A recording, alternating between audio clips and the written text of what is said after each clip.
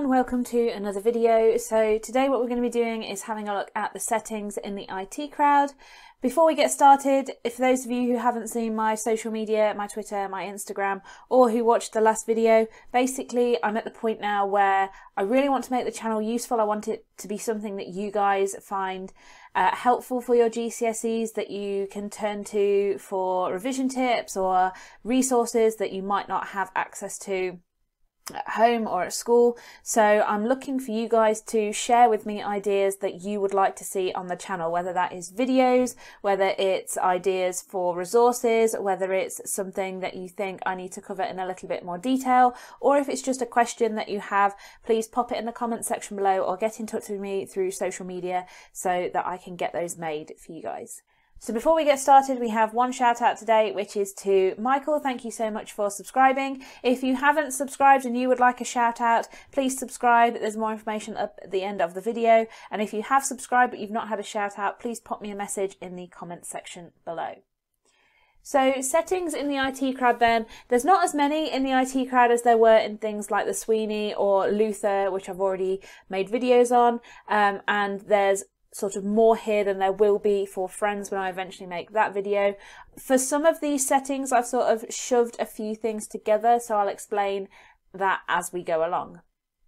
So to begin with then the street, we see this at the beginning with uh, Moss running, but I've also sort of considered the street outside of the 8 Plus Club, the street view that we get when Roy is on the bike, and the street view that we get when he's travelling down with the window cleaner. So I've sort of put those all together because they all do really the same thing, which is that they're ambiguous and they're enigmatic because they represent basically any town or city in the UK. And by representing anywhere, it doesn't close off any member of the demographic. The demographic can imagine that that is their place of work. They might find some elements that seem close to what they experience in real life. So this adds to the idea that the characters are average people, sort of like the average person on the street, which makes the show as a whole more relatable and therefore the audience can connect to it more deeply and they um, perhaps find more humour in the situations that the characters go through.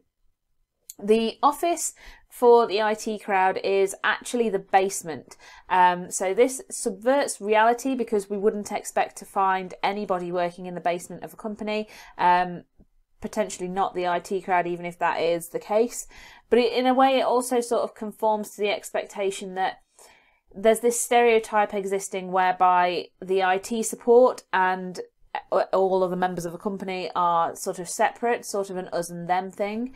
Um, so the office sort of both conforms and subverts expectations. It's also very messy and cluttered. Now, this really does conform to the stereotype that IT support are generally male, that they're generally um, nerds or geeks, and that they are perhaps people who collect a lot of memorabilia that the average person would look at and think is sort of junk.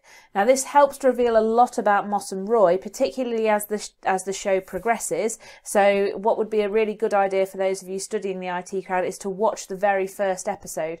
If you watch the very first episode, you'll be able to see what more Ross and Moss and Roy were like when um, before Jen arrived, and then you can compare that to this episode when obviously she's been with them for four seasons now. So you'll be able to see how their characters have changed, how the office has changed, um, and obviously because the office is a little bit more cluttered, a little bit messier. It's got the sofa in there as well. It creates a more welcoming atmosphere for the audience because it's got this sort of lived in look, which then makes the audience more likely to want to find out about it, doesn't put them off, doesn't make them feel awkward because it's very bland or very sparse, which is similar to the next setting. So the countdown studio and waiting room I've sort of pushed together. Um, the countdown studio is obviously instantly recognizable. It's got very high key lighting. It's something that wouldn't need a lot of explaining for the audience. The waiting room to the countdown sort of studio when Prime turns up and gives uh, Moss the card. This sort of conforms to expectations. We wouldn't expect it to be messy. We would expect it to be quite neat, quite tidy. It sort of matches Moss's personality really well, even down to the little tub of biscuits that are on the table. In a way, though, it, it does seem really sparse, particularly when contrasted to that bright studio lighting, which we get just before we see uh, Moss inside that waiting room. Now, Roy's flat is the next setting that we see, and this completely subverts expectations. His flat seems modern, it seems neat and tidy, it seems quite large as well. So, the bathroom seems quite big for a, an apartment or a flat or perhaps a, a house that he's living in. So, this seems at odds with the way that Roy presents himself at work. He's very messy, he's very loud, he's abrasive at work, and so we get to see another side of the character that perhaps we're not familiar with, and this helps to make him a more well rounded character. If there was only one side to him, if there was only one setting for Roy, then the audience wouldn't be engaged in following what happens with him all the way through what ended up being sort of five seasons.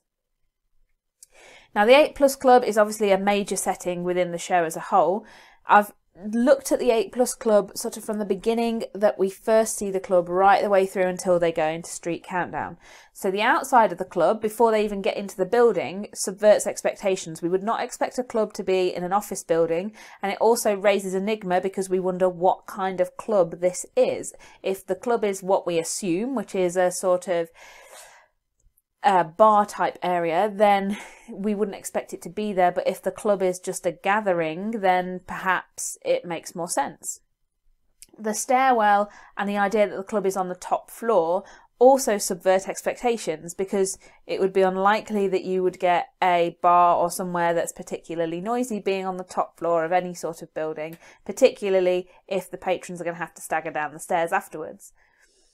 Now, the steric um, another part of the setting that I've added is the sort of attractive female guard who's outside. Now, we could argue that she's a character, but I've put her together with the setting for the moment because the idea that there is a guard outside this club is unusual in itself. The fact that it is a stereotypically attractive female again raises enigma because we wonder exactly what kind of club this is this is that the characters are going to be entering and also doesn't seem to fit with the idea that this is a club for people who have been on countdown um, and sort of fit the same sort of character as Moss.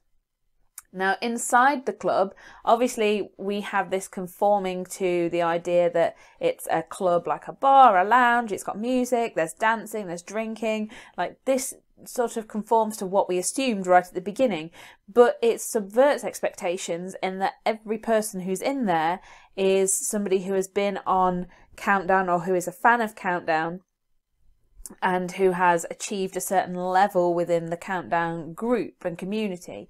The fact that all of the characters who are in there are wearing what we would consider to be stereotypically nerdy or geeky clothing um, also subverts this expectation, as does this idea that the countdown groupies are the most attractive um, and I think they're described as the most sexually voracious of all groupies. So that again subverts these expectations. So the 8 Plus Club is quite an enigma in itself and it does a lot of things all at once. So it's really important that we sort of pick that apart.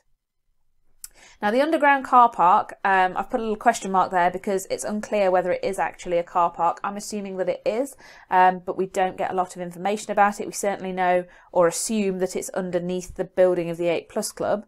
Um, we don't obviously have no idea where the relation uh, what the relation is to the 8 Plus Club or where it is, as I've just said. Um, it's also very reminiscent of films such as Fight Club, and while it does conform to the idea of it being street, it's very Americanized. So this is the sort of thing that we would see in American crime dramas, that we'd see in American shows where people are having to meet secretly. It doesn't seem to fit with the idea of this being a British sitcom. Finally, we have the office in terms of the meeting room that Jen goes to. Now, the meeting room um, seems very generic, as does the corridor, but they're also very ambiguous because, again, we have no idea what Reynholm Industry actually produces, what they're involved in, and so in a way, this helps it to be more relatable and also adds humour in that sense.